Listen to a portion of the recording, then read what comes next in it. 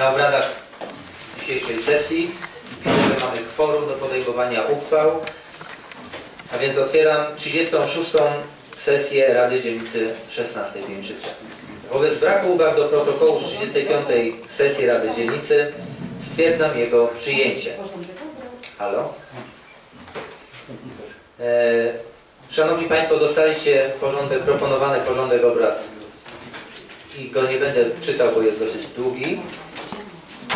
E, Zarząd przygotował poprawkę, wniosek o wprowadzenie do porządku obrad, rozpatrzenie projektu uchwały zmiany listy rankingowej zadań powierzonych w zakresie prac remontowych gimnazjów, szkół podstawowych, przedszkoli w roku 2013, druk numer 295. Chyba został Państwu teraz przed chwileczką dostarczony. Powiem dlaczego taka nagła zmiana. Jest to spowodowane tym, że jedno z zadań naszych oświatowych jest zagrożone. Mówimy o szkole 86, gdzie trwają prace projektowe i niekoniecznie uda się zrealizować ten projekt w tym roku. A więc szybka decyzja, żeby przeznaczyć środki, które mamy na zadaniu inwestycyjnym na inne zadanie w tej samej szkole oraz przy okazji wykorzystamy pozostałości po przetargach pozostałości po przetargach na zadania inwestycyjne również w placówkach oświatowych, żeby dołożyć jedno więcej zadanie w jednej ze szkół i o tym będziemy dyskutować w, tej, e, w tym punkcie. To był głos za, głos przeciw nie widzę. I teraz przechodzimy do głosowania. Kto z Pań i Panów Radnych jest za wprowadzeniem tego punktu pod obrady dzisiejszej sesji? Bardzo proszę o podniesienie ręki. Jeszcze chwileczkę Pani Ela, która zastępuje Panią Małgosię, policzy. I tu Pan 15. Tak, kto jest przeciw? Nie widzę. Kto wstrzymał się od głosu? Również nie widzę. Czy są jakieś inne wnioski o wprowadzenie do porządku obrad? Nie widzę, więc wobec braku uwag stwierdzam, że przedstawiony projekt porządku obrad stanowi porządek dzisiejszej sesji. Punkt drugi. Sprawozdanie z bieżących prac zarządu przedstawi członek zarządu pani Bożena Grzegorek. Bardzo proszę. W miesiącu wrześniu zarząd spotkał się na czterech roboczych posiedzeniach. W tym czasie przewodniczący naszej Rady odbył szereg spotkań. Prawie wszystkie były w Zikicie. I tak, trzy spotkania dotyczyły sprawy pielęgnacji zieleni. Kolejne to oświetlenie ogródka Jolanowskiego, parkingu i boiska przy Szkole Podstawowej 82. Następne dotyczyło realizacji wykonania zadań takich jak naprawy chodników i nawierzchni bitumicznych.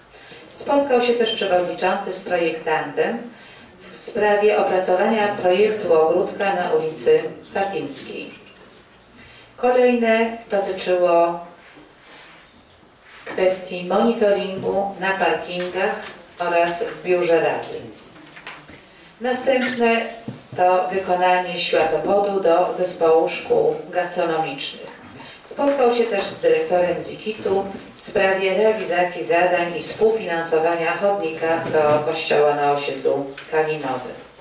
Spotkanie w Adremie dotyczyło monitoringu na osiedlu Kazimierzowskim 24-25 oraz ostatnie już to remont nawierzchni wojska przy Młodzieżowym Domu Kultury Korczak.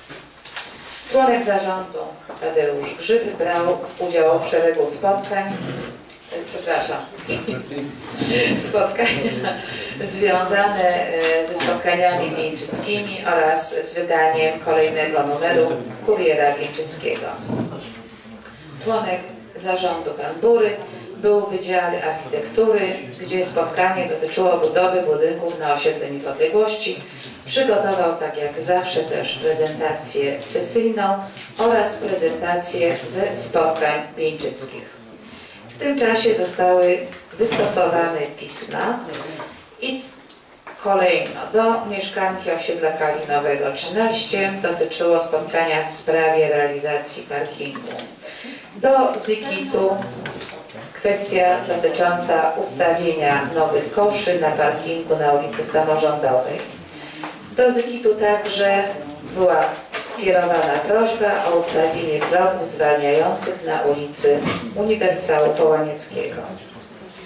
Do Straży Miejskiej wystosowano pismo z prośbą o częstsze kontrole i uprzątnięcie śmieci za domem towarowym Wanda. Do Wydziału Paszportów poszła prośba z, mm, o przyspieszenie wydania paszportu jednej z uczennic, która w nagrodę jedzie na wycieczkę do Ukrainy. Do mieszkanki z osiedla na lotnisku Pismo dotyczyło wyjaśnienia kwestii problematycznej ławki. Do spółdzielni mieszkaniowej Wiktoria. Tutaj pismo było w kwestii współfinansowania zadań na terenie spółdzielni. Do trzeciego liceum ogólnokształcącego wysłaliśmy odpowiedź na prośbę o udzielenie dodatkowego wsparcia finansowego. I ostatnie do Urzędu Miasta Krakowa, Wydział Sportu. Tutaj poszła informacja, że na chwilę obecną nie posiadamy środków na realizację programu Mój Trener. Jeżeli zostaną przywrócone środki dla dzielnicy, temat będzie otwarty. Dziękuję. Bardzo. Pan Stanisław Góry teraz przygotował prezentację. Proszę Państwa, króciutka prezentacja, bo odbyły się cztery odbiory bodajże od 30 sierpnia do 26 września dnia dzisiejszego. Bieżące utrzymanie Halina Hałacińska. Oczywiście Pani Halina y, tam poczyniła szereg uwag, y, które zostały omówione bodajże na posiedzeniu komisji. Nie chciałbym tutaj Państwa zanudzać tymi uwagami. Jeżeli Państwo sobie życzą, to proszę bardzo, będziemy wymieniać. Następny odbiór Łoś Agnieszka. Yy, W szkole podstawowej 101 remont pomieszczeń po loka, lokatorach na cele szkolne. Została wymieniona wykładzina i proszę Państwa okna. Natomiast malowanie będą przeprowadzali bodajże harcerze. To co z tego wiem, z informacji Pani Tak, Agnieszki. okna. Następnie pan e, Adamek Robert uczestniczył w odbiorze w szkole podstawowej 92, remont pomieszczeń po lokatorach na cele szkolne. Pani Liro Elżbieta, przepraszam od razu, że tam poprzednio napisałem pani Agnieszka, ale pani się nie obrazi, także poprawimy to. Odbiór przedszkola 115, w przedszkolu 115, cyklinowanie parkietu. Tyle było odbiorów za ten okres. Szanowni Państwo, czy są jakieś pytania do bieżącej pracy zarządu? Bardzo proszę. Jeżeli nie ma, to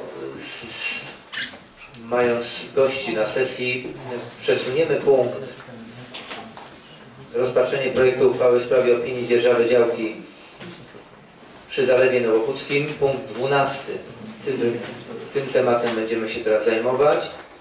I bardzo bym prosił, ewentualnie nie wiem, kto z Państwa będzie